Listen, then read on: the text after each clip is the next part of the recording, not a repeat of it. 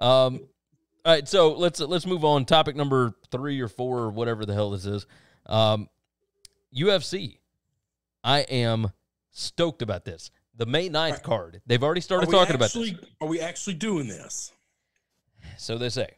Now all the fights have been agreed to, uh, contingent on the idea that it actually happens. It this one is supposed to happen on Fight Island, and I mean UFC this actually one, This publicized. one he's leaving. So this one we're leaving the state of California. We're just We, we are leaving the. United States of America, brother. I'm we we that. are leaving and we are going to to Fight Island. We are going to a private island where all the infrastructure is being built, and the only thing they're gonna have on this island is an arena to fight in. That's it. No spectators, no nothing. But I want you to listen to this card, okay? Okay. Ferguson Gaethje headlining. That is the interim lightweight title fight. That's the, that's the one we wanted. Yep. Okay. Uh, Henry Cejudo against uh, Dominic Cruz. That is the bantamweight title fight. So that's two right there. Yeah. Then you got Amanda Nunes against Felicia uh, Spencer. That is the uh, featherweight women's title fight. That's three title fights before you even get to the undercard, which in and of itself would have been a good enough card to watch anyway. You got Ngannou against Rozenstruik. You got St- uh, Stephens against uh, uh, what is it? Cotter, Cater, Keeter, what? whatever. I can't read my own writing. Um, you got uh, you got Cowboy Cerrone against Showtime Pettis, which is an I- incredibly I still love watching Cowboy. I Oh. know he's lost a step. and He's but, but so so is Showtime. Showtime Pettis, like these amazing. are fan friendly fights. Like th- these are fan favorites. These two. So Pettis against Cerrone, that's a big one. You got Greg Hardy against DeCastro.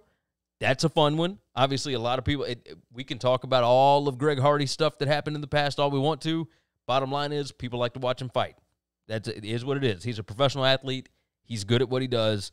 Uh, and then you got Oleinik against uh, Fabricio Werdum, and man, like uh, this, it, along with all of the undercard stuff, it is slammed. Like there's enough for two pay per views in this one. Like if I were them, I would have split this thing in two and done it on two different nights. Yeah, But- I, or- save it if like because Yeah. at one point in time he said, you know, if they originally did the one that they were supposed to do last week, if they did that one, they were going to do like every two weeks have a fight. Well, Like, now they're going to get to the point where they have to do it like they'll have a fight on Thursday, a fight on Friday, a fight on Saturday, and it, like that- to be able to catch back up because they got to do 42 events for ESPN in order to get their contract. So they got to get their money. yeah, hang on, whoa, whoa, now. ESPN told them don't and cut the last one.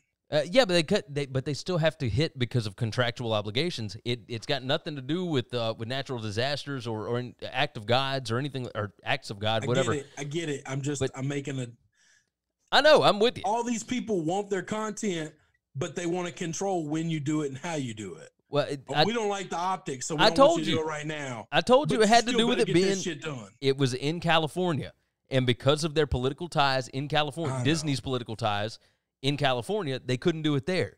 But if they're doing it on on international soil, I mean, you can't stop them from doing that. That's a, so. If it's on some private island somewhere, cheers.